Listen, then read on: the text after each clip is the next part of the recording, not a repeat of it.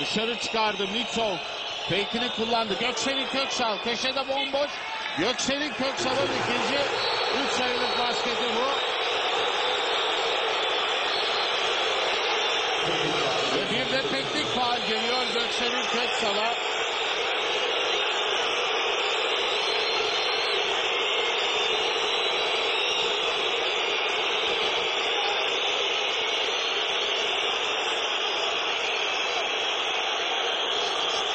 Evet Ergin Ataman'a şimdi Mehmet Keser Atar niye teknik faal çaldığını izah etti. Ha, gördün mü diyor Mehmet. Er- Ergin Ataman da yaptı mı ne yaptıysa ben göremedim ama Mehmet diyor ki gördün mü ben gördüm diyor.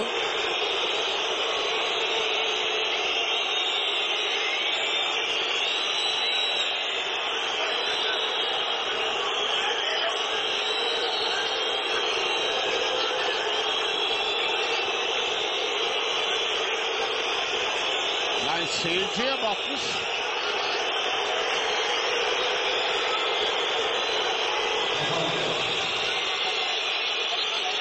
Bilmiyorum başka bir açıdan var mı ama